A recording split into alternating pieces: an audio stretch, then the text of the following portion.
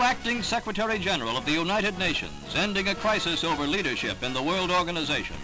Following his unanimous election by the 103-nation General Assembly, Burma's U Thant is to be sworn in by Monchi Slim, its president.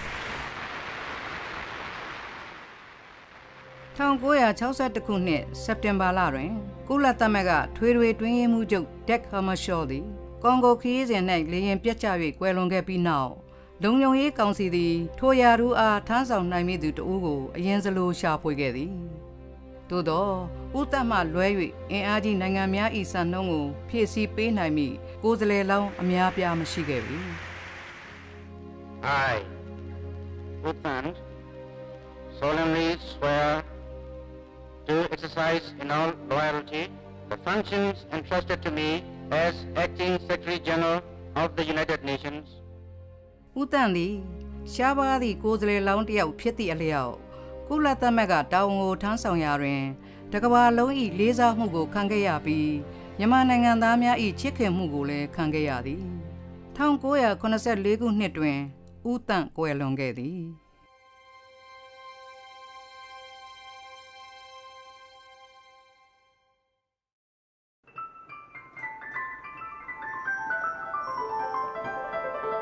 တန့်ကို1909ခုနှစ်တွင်ပန်းတနော်မြို့၌မွေးဖွားခဲ့သည် ထိုအချိန်ကဘာမှဟုလူသိများခဲ့သောမြန်မာနိုင်ငံသည်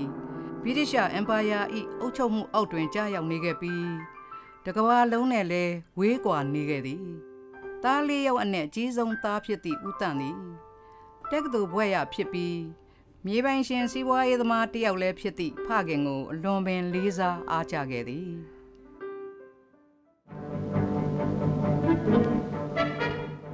1968ခုနှစ်တွင် Alice de Cook နှင့်တွေ့ဆုံဆွေးနွေးထားသော television interview တွင်ဦးတန့်၏ငယ်ဘဝနှင့်အစောပိုင်းအတွေ့အကြုံများကိုဤကဲ့သို့ဖော်ပြထားသည် My sole ambition had been to become a political journalist. Really? From what age? Oh, since I was young. You know, my father was a lover of books. Yes. He had a very good library. And uh, I got used to reading books. English was one of the subjects, compulsory subjects we it was call compulsory. it. Yes, Burmese of course was the first language. Yes. In those days uh, we had about uh, three English language papers and about four Burmese language papers published in Rangoon, all dailies. Of course when I was young I used to contribute articles to the local press, only in Burmese. What, what about? I think I remember my first article sent to a periodical was when I was 15. What was it about? There are some anecdotes in the schools. ဦးတန်14နှစ်သားအရွယ်တွင်ဖခင်ဖြစ်သူဆုံးပါသွားခဲ့သောကြောင့်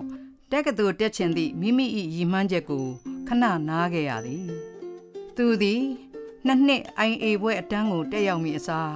ညီငယ်များကိုပံ့ပိုးရန်နဲ့အသက်မွေးဝမ်းကြောင်းအတွက်ကျောင်းဆရာအလုပ်ကိုလုပ်ကင်ခဲ့သည် ဦးတန်သည်1926ခုနှစ်တွင်ရန်ကုန်တက္ကသိုလ်၌ပညာသင်ကြားရန်ရန်ကုန်မြို့သို့ပြောင်းရွှေ့ခဲ့ပြီးလူမျိုးပေါင်းစုံနေထိုင်ရာနာမည်ကျော်မြို့ကြီးတွင်သူကိုယ်တိုင်ပါဝင်စီးမျောသွားခဲ့သည်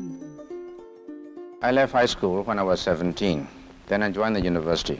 And While what- in university also, I used to contribute articles to the local press. What did you, uh, what were the subjects that you took at the uh, university? Uh, mainly political, international relations, and my observations on the Burmese political scene. I wrote about uh, the reforms, elections, and Simon Commission visit to Burma, oh, yes. mainly political.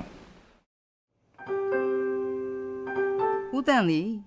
သူတက်ခဲ့သောကျောင်းတွင် အထက်တန်းကျောင်းဆရာအဖြစ်သူ၏အတတ်ပညာများကို ပြန်လည်ဝေမျှပေးရန်ပန်းတနော်မြို့ကိုပြန်လာခဲ့တယ်။သူသည်ဗြိတိရှအစိုးရ၏ပညာရေးစနစ်ကိုစိတ်ပြက်မိတော်လဲ ကျောင်းတွင်အသိအမှတ်ပြုခံရပြီးလျင်မြန်စွာပင်ကျောင်းအုပ်ဆရာအဖြစ်ယာရုတိုးခြင်းခံခဲ့ရသည်။ထိုအချိန်ကာလများကမြန်မာနိုင်ငံပညာရေးစနစ်တွင် သူ၏ပါဝင်ပတ်သက်ခဲ့မှုများသည်ကလေးများအတွက်အထောက်အကူဖြစ်စေခဲ့သည်1934ခုနှစ်တွင်ဦးတန်သည်အထက်မြန်မာပြည်မှရှေ့နေတဦး၏သမီးဖြစ်သူဒေါ်သိန်းတင်နှင့်လက်ထပ်ခဲ့ပြီးသားသမီး၃ယောက်ထွန်းကားခဲ့သည်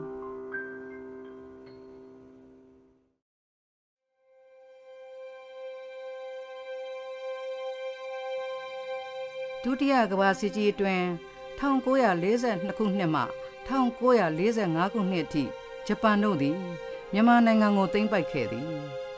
စစ်အတွင်းတွင်မြန်မာနိုင်ငံသားအချို့သည်ဂျပန်စစ်တပ်ဘက်မှပါဝင်ပေးခဲ့ပြီးနိုင်ငံအတွင်းစိတ်ဝမ်းကွဲမှုများဖြစ်ပေါ်နေခြင်းလည်းဖြစ်သည်ဂျပန်တို့သည်ဥတန်အားပညာရေးဆိုင်ရာစီရင်ရေးကော်မတီကိုဦးဆောင်ရန်ရန်ကုန်သို့ခေါ်ယူခဲ့တော်လဲဥတန်သည်ပန်းတနော်မြို့သို့ပြန်ခဲ့သည် ထို့နောက်ပန်းတနော်မြို့တွင်ဂျပန်ဘာသာကိုမဖြစ်မနေသင်ရမည်ဆိုသည့်အမိန့်ကိုညှင်းဆန်ခဲ့ပြီးစစ်ကြီးပြီးသည့်အထိဂျပန်အစိုးရကိုတော်လှန်သောအဖွဲ့တွင် ပါဝင်လှုပ်ရှားခဲ့သည်ဂျပန်စစ်တပ်တို့ပြန်လည်ထွက်ခွာသွားချိန်1945ခုနှစ်တွင်ဗြိတိရှတို့သည်မြန်မာနိုင်ငံကိုထပ်မံသိမ်းပိုက်ခဲ့သည်ထိုစဉ်ဗိုလ်ချုပ်အောင်ဆန်းနှင့်ပါတီအဖွဲ့ဝင်တို့သည်မြန်မာနိုင်ငံလွတ်လပ်ရေးရရန်ဦးစွာဆောင်ရွက်ခဲ့ကြသည် 1948ခုနှစ်တွင်ဦးတန်သည်အစိုးရသည့်တက်ရန်အတွက်ပြောရေးဆိုခွင့်ရှိသူအဖြစ်ဖိတ်ကြားခြင်းခံခဲ့ရသည်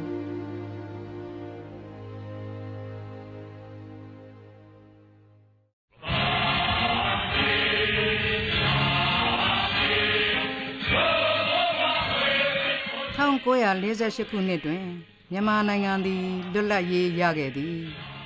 ထိုချိန်ကာလသည်မြန်မာနိုင်ငံသားများအတွက်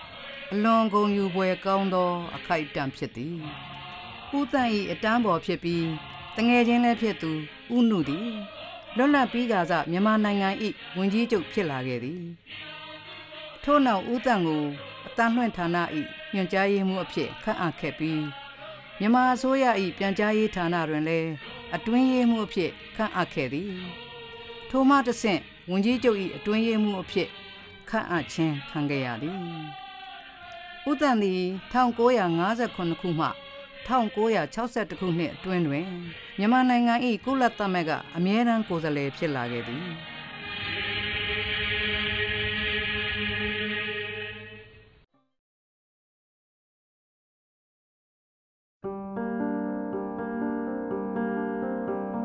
နိုဝင်ဘာလ3ရက်နေ့1962ခုနှစ်တွင် အထွေထွေညီလာခံမှ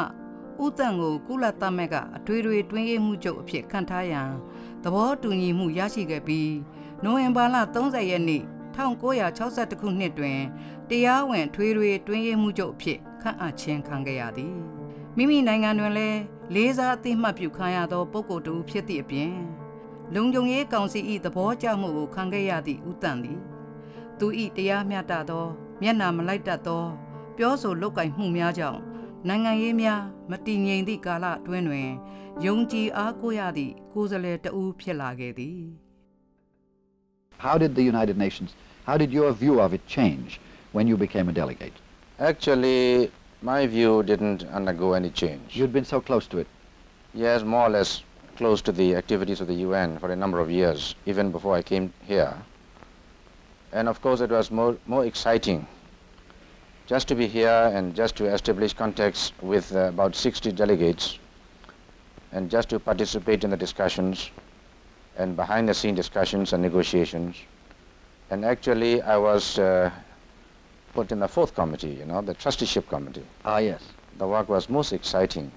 Because you, you were leading people towards independence. Yes, yes.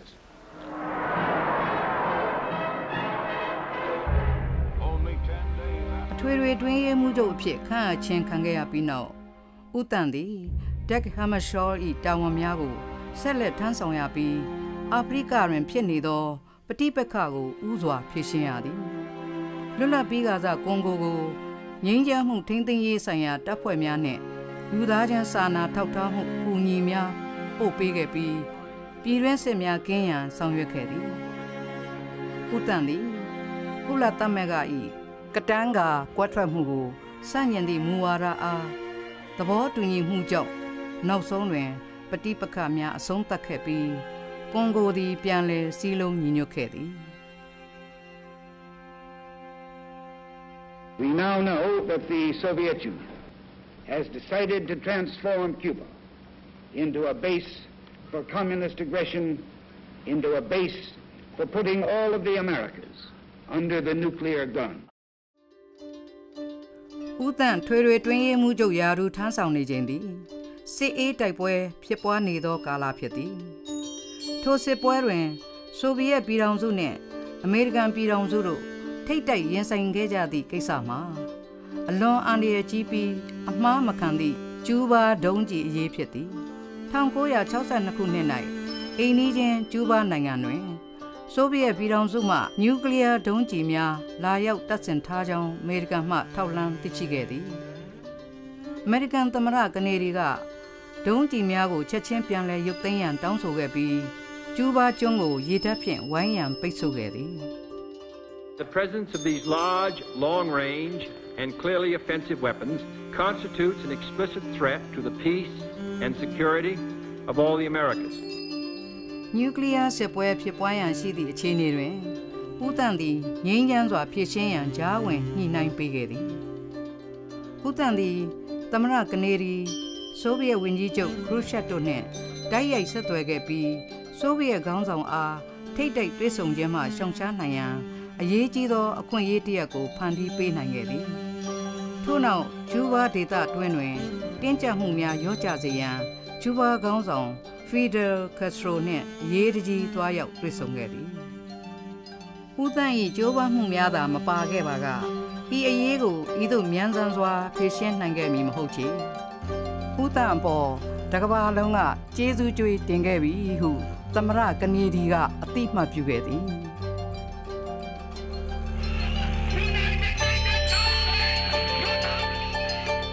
ဦးတန့်တာဝန်ထမ်းဆောင်နေစေနှစ်နှစ်အတွင်းသည်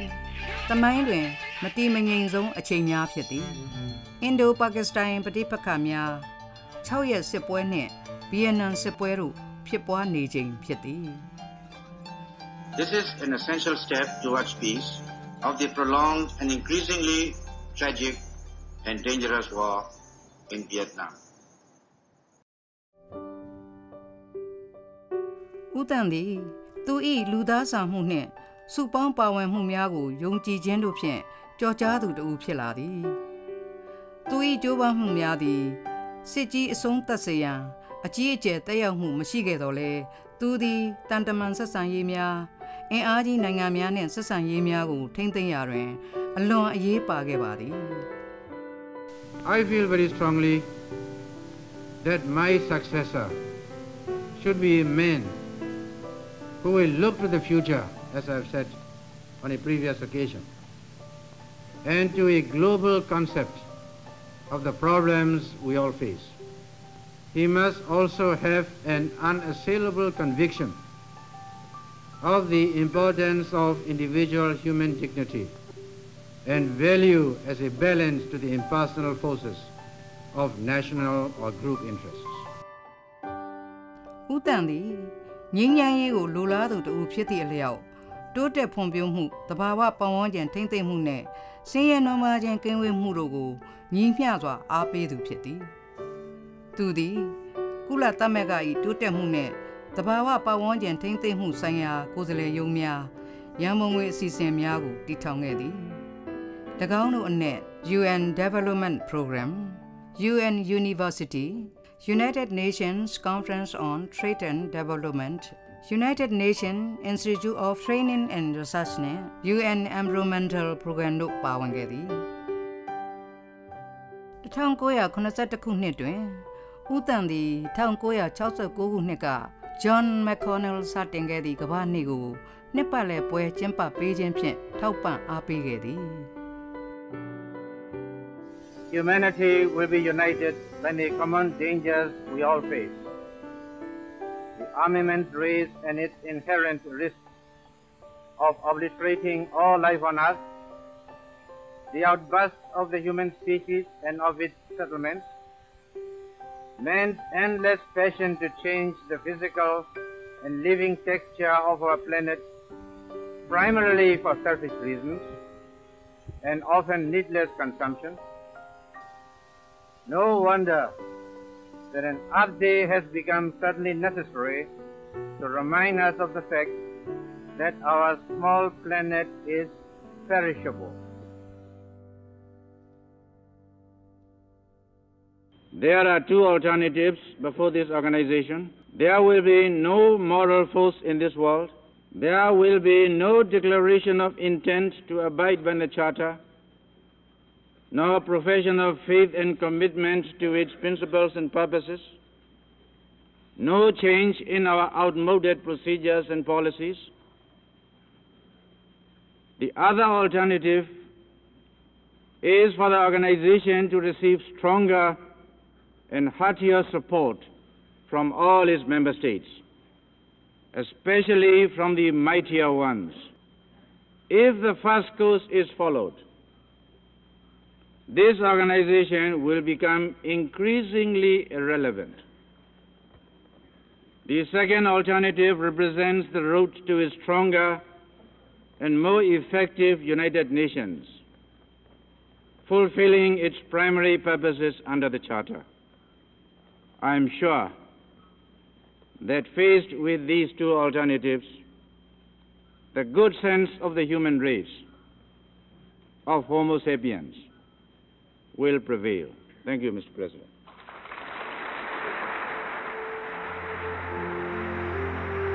ဇန်နဝါရီလ1982ခုနှစ်အထွေထွေတွင်းရေးမှုချုပ်ယာရုမှအငိမ့်စားယူခဲ့ချိန်တွင်ဦးတန်မှာကျမ်းမာရေးချွတ်တဲ့နေပြီဖြစ်သည်တတရယာရုတက်တန်းကိုထမ်းဆောင်ရန်မြည်သည့်အခြေအနေနှင့်အမျှအစင်မပြေဟုပြောဆိုခဲ့သည်ဦးတန်သည်အထွေထွေတွင်းရေးမှုချုပ်ယာရုတက်တန်းတစ်လျှောက် သူ၏မိသားစုနှင့်အတူမန်ဟန်တန်မြောက်ဘက် Riverdale တွင် နေထိုင်ခဲ့သည်အလုံးမအနားယူပြီးနောက်သူသည်နယူးယောက်မြို့ဟယ်ရီဆန်သို့ပြောင်းရွှေ့ခဲ့ပြီးမိမိအချိန်များကိုကိုရေးမှတ်တမ်းပြုစုခြင်းဖြင့်အချိန်ကုန်စေခဲ့သည်နှစ်နှစ်အကြာ1984ခုနှစ်နိုဝင်ဘာလ25ရက်နေ့အသက်65နှစ်တွင် အဆုတ်ကင်ဆာဖြင့်ကွယ်လွန်ခဲ့သည် ဥတန့်ကွယ်လွန်သွားခြင်းကိုတကဘာလုံးကပူဆွေးဝမ်းနည်းခဲ့ကြတော့လေ1962ခုနှစ်မှစ၍ဗိုလ်ချုပ်နေဝင်းဦးဆောင်သည့်တော်လှန်ရေးကောင်စီလက်အောက်သို့ရောက်ရှိခဲ့သည့်မြန်မာအစိုးရမှဂုံပြုဇာပနာကျင်းပရန်ညှင်းဆန်ခဲ့သည်သို့သောမြန်မာနိုင်ငံသူနိုင်ငံသားများ၏စန္ဒမှာထိုးထိုးမဟုတ်ချေဦးတန်း၏ရုပ်အလောင်းကိုရန်ကုန်မြို့တွင်မြုပ်နှံရန်ပြန်လည်တည်ဆောင်လာသည့်အခါ လူထောင်ပေါင်းများစွာသည်လမ်းတစ်လျှောက်တွင်စောင့်ဆိုင်း၍နောက်ဆုံးဂါရဝပြုခဲ့ကြသည်ဥတန့်၏ရုပ်အလောင်းသည်ရွှေကုံစေဒီခြေတော်ရင်းတွင် ပြောင်းရွှေ့မြုပ်နှံခဲ့ခြင်းခံခဲ့ရပြီးယနေ့အထိဥတန့်၏ဂူဗိမာန်အဖြစ်တည်ရှိနေသည်1988ခုနှစ်တွင် ကုလသမဂ္ဂမှအမြင်များဆိုသည့်ဥတန့်၏ကိုရေးမှတ်တမ်းကိုထုတ်ဝေခဲ့သည် ထိုစာအုပ်ထဲတွင်ဤသို့ရေးသားဖော်ပြထားသည်ကျွန်ုပ်၏ကုလသမဂ္ဂအပေါ်ထားရှိသောခန်းစားချက်အမြင်များကို နားလည်ရန် ပထမဦးစွာ ကျွန်ုပ်၏ကိုးကွယ်ရာဘာသာရေးနှင့်ယဉ်ကျေးမှုနောက်ခံကို နားလည်မှဖြစ်မည်ဗုဒ္ဓဘာသာဝင်တဦးအနေနဲ့ကျွန်ုပ်သည်တိမခံတတ်ခြင်းမှလွဲ၍အရာရာကိုတိခံတတ်ရန်သင်ကြားခဲ့ရသည်ကျွန်ုပ်သည် နားလည်တိခံတတ်ရန်စိတ်အားထက်သန်သူတဦးဖြစ်ုံသာမက ကိုကျင်တရားကောင်းမှုကိုလည်းမြတ်နိုးသူဖြစ်သည်ထို့ပြင်မိမိကိုယ်ကိုနှိမ်ချခြင်းသဘောထားကြီးခြင်းဂယုဏပွားခြင်းကိုယုံကြည်အားပေးသူဖြစ်ပြီးမိမိ၏စိတ်ခံစားမှုကို ထိမ့်သိမ့်တတ်ရန်အလွန်ပင်အရေးကြီးသည်ဟုယုံကြည်ပါသည်